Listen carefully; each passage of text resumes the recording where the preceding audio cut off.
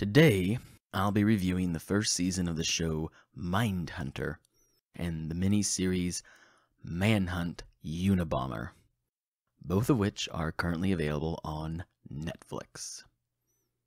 The reason for reviewing these shows side by side is that they share striking resemblances to each other with respect to storyline and characters, and I find them compelling for similar reasons. Let's start with the basic facts. Both shows released in 2017, Mindhunter on Netflix as a Netflix original, and Manhunt Unabomber on the Discovery Channel as a Discovery Channel original show. Both are crime drama thrillers about FBI agents investigating serial killers. While Mindhunter centers around FBI agents pioneering criminal profiling of serial killers in the late 1970s, Manhunt focuses on the FBI agent that pioneered the use of forensic linguistics in the mid 1990s in discovering the identity of the Unabomber. For those who don't know or don't remember who the Unabomber is, from 1978 to 1995, Ted Kaczynski killed three people and injured 23 others in a nationwide bombing campaign that targeted individuals involved with modern technology. Both shows are based off books written by the FBI agents they portray. Mindhunter is based off John Douglas's Mindhunter, inside the FBI's elite serial crime unit, and Manhunt is based off James Fitzgerald's A Journey to the Center of the Mind, Book 3, The First 10 FBI Years. In Mindhunter, John Douglas is who the main character, Holden Ford, is based off of. Douglas has also been the inspiration for the character Jack Crawford, who's the criminal profiler in the Hannibal Lecter series. This is not surprising, because if you enjoyed the first half of Silence of the Lambs, where Clarice is interviewing Lecter, then both shows are for you. Douglas is also mentioned in Manhunt, as he is one of the criminal profilers that worked on the case. In fact, his profile was the first to correctly suggest that the Unabomber was highly educated. This is significant because a long held assumption by investigators is that the Unabomber was an airline mechanic, as opposed to a former Berkeley math professor, which he was. In terms of reception, both shows have been well received. On IMDb, Mindhunter has a rating of 8.8 and Manhunt 8.2. On Rotten Tomatoes, Mindhunter has an approval rating of 97% and Manhunt 91%. Metacritic gives Mindhunter a 78 out of 100 and Manhunt a 71 out of 100. Now let's turn to a brief synopsis of each show. Set in 1977, in the early days of criminal psychology and criminal profiling at the FBI, Mindhunter centers on FBI agents and Quantico instructors Holden Ford and Bill Tench, as well as psychology professor Wendy Carr.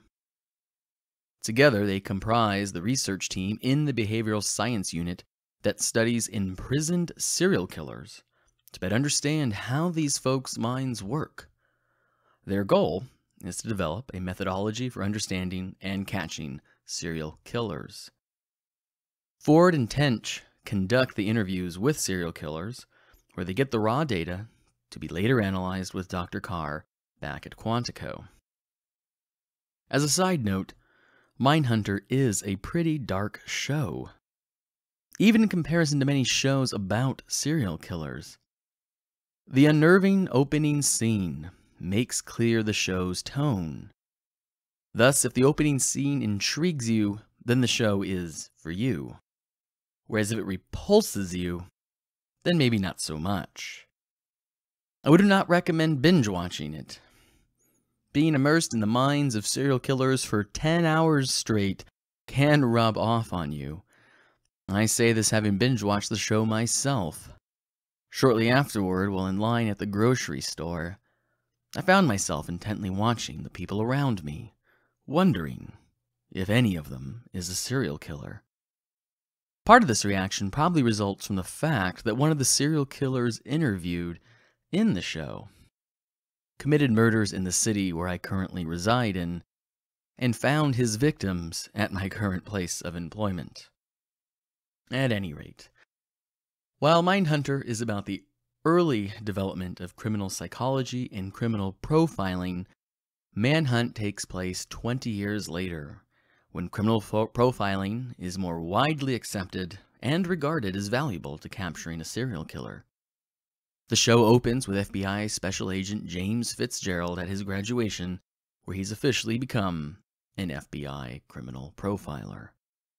Soon after, he joins the FBI task force investigating the Unabomber murders.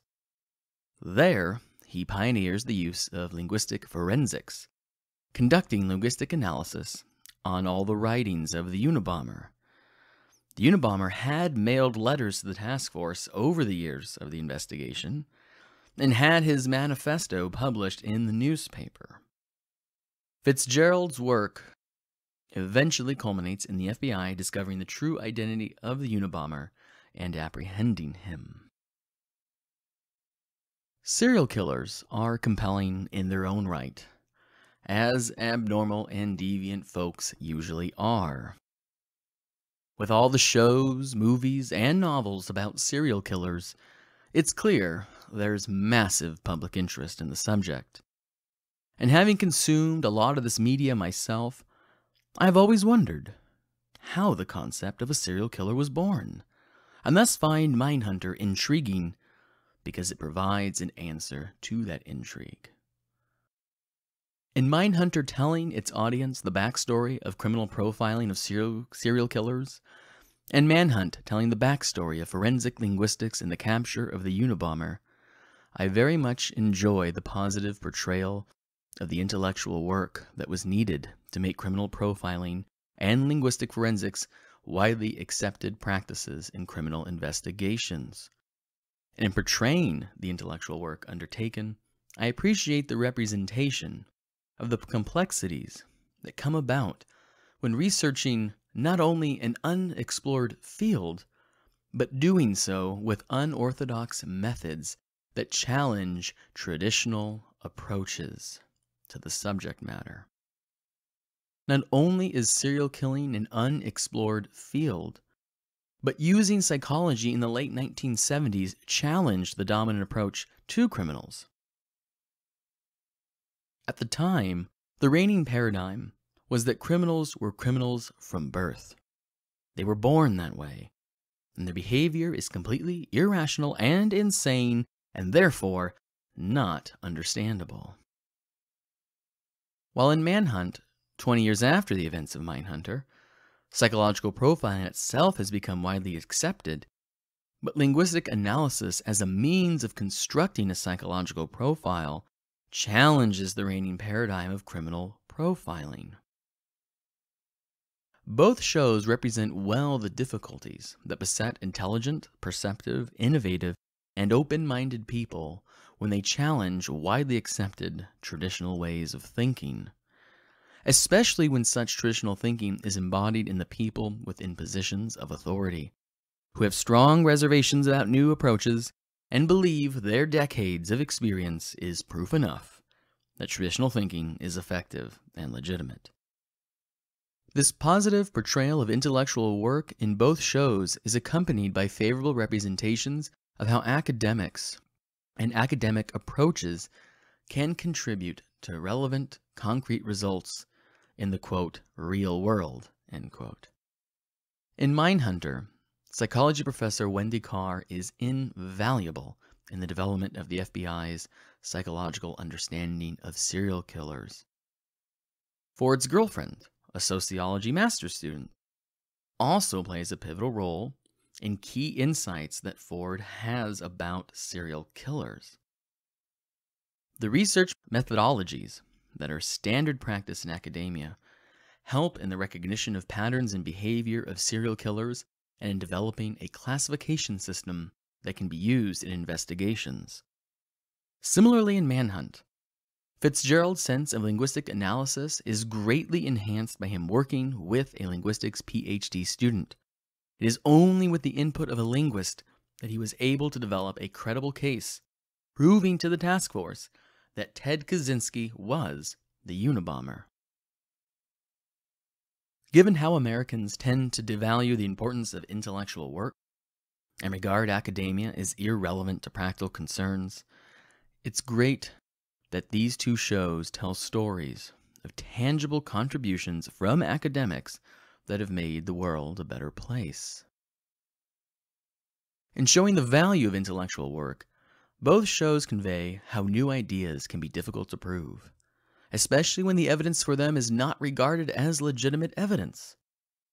In Mindhunter, psychological analysis was seen as illegitimate, and in Manhunt, linguistic analysis is similarly regarded as illegitimate.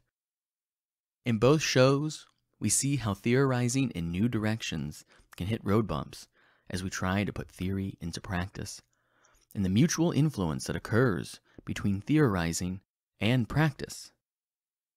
While theorizing influences what we test out in practice, experience from practice then influences our revisions of the theory, which we then test out again in practice, and on and on. We see this in early episodes of Mindhunter, when Ford and Tench attempt to assist local police departments in the capture of elusive murderers. At this early stage of their research, they are unable to offer useful assistance that would provide a break in the case. But these become valuable learning experiences, where they then revise their theories and methods, and later we see the upside of such revisions when they eventually do successfully help local police departments in bringing killers to justice. Similarly, in Manhunt, the early attempts in using linguistic analysis led to dead ends in finding the identity of the Unabomber.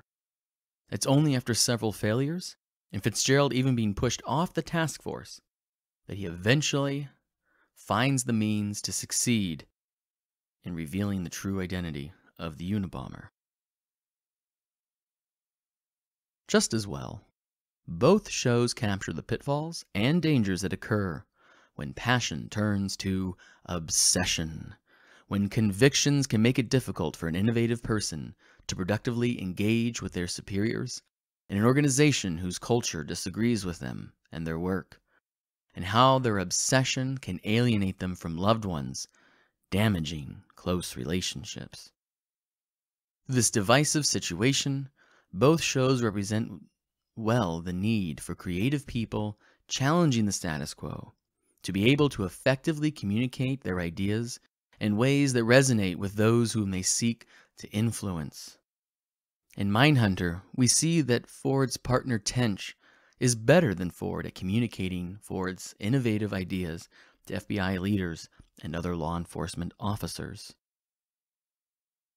In Manhunt, we see this when Fitzgerald leaves the task force explores his theories on his own, working with the linguist, and only returns to the task force when he has the tangible evidence that his superiors will recognize as legitimate.